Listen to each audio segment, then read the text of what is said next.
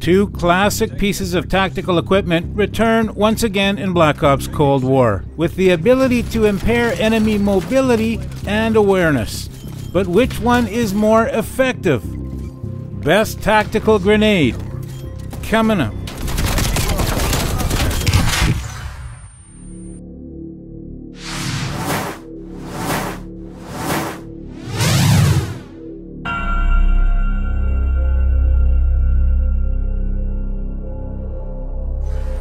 Hey, what is going on, fellas? It's Favstar. Well, it seems that the Stimshot has emerged as the go to piece of tactical equipment. However, when used correctly, the tactical grenades can shift the balance in any gunfight. In today's video, I'll dig deep into the stats of two equally popular choices in the tactical equipment category the stun grenade and the flashbang. After explaining exactly how these two items work, We'll compare them with each other and see if we can discover the best tactical grenade in Black Ops Cold War. The stun grenade is a throwable tactical grenade that disorients enemies and slows movement. It detonates shortly after impact. If you're caught within the blast radius of a stun grenade, you'll experience reduced movement speed. You'll be unable to sprint and will only be able to move at a fraction of your default walking speed.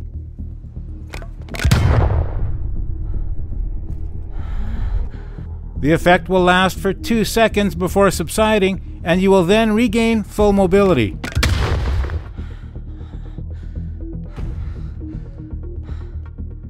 During this time period, you will also lose your ability to jump at full height, However, your ability to adjust your point of aim and go prone at full speed will remain unaffected.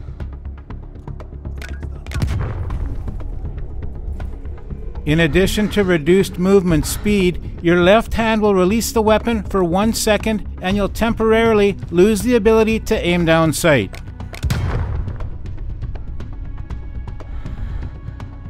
Even though you are able to fire your weapon while stunned, your accuracy will be very poor.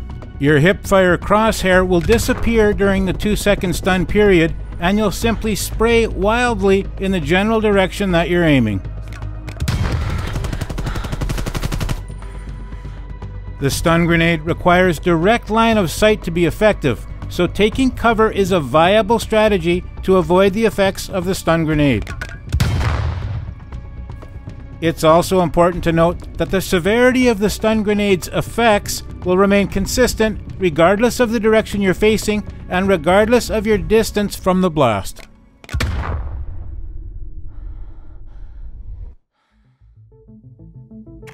The in-game description tells us that the flashbang blinds enemies and impairs hearing, and it detonates shortly after being thrown. If caught within the blast radius of a flashbang, you'll experience temporary vision and hearing loss. This effect will last for 2 seconds before subsiding. However, unlike the stun grenade, you will retain all other movement and weapon handling abilities while under the effects of the flashbang. It's important to note that the flashbang also requires direct line of sight to be effective. And similar to the stun grenade, the direction you're facing and your distance from the source of the blast will have no impact on the severity of the effects.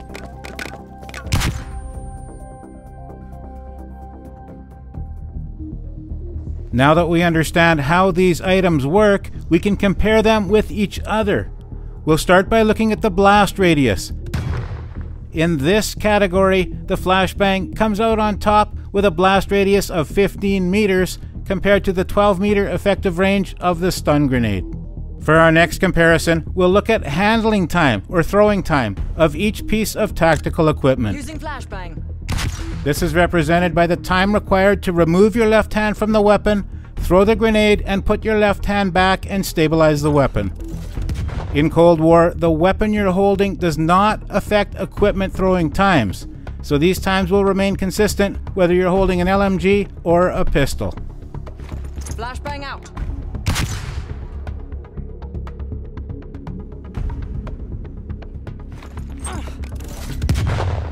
In this category, the two pieces of tactical equipment come out even with a throwing time of 1.15 seconds. Next up, we'll compare throwing distance. Flashbang out. For this comparison, each piece of equipment will be thrown standing still and at the exact same upward angle. Throwing stun. Once again, the items are equally matched with a throwing distance of 45 meters.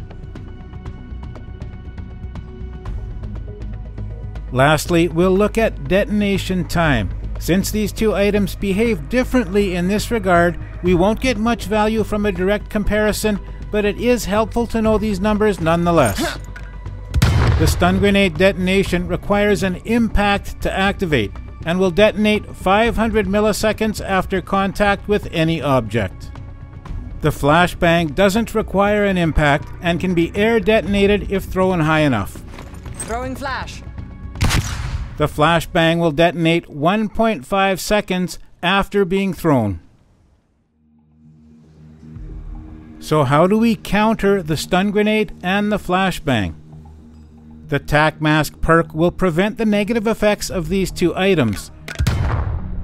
You will endure a momentary visual disruption, but will otherwise be unaffected by the stun and the flashbang.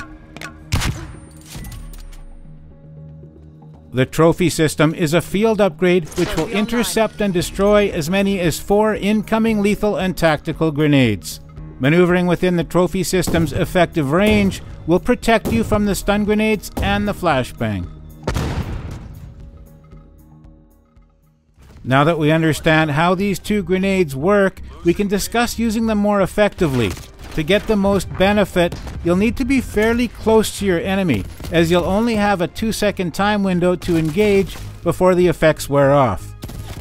Another useful feature of these two items is their ability to discover hidden enemies.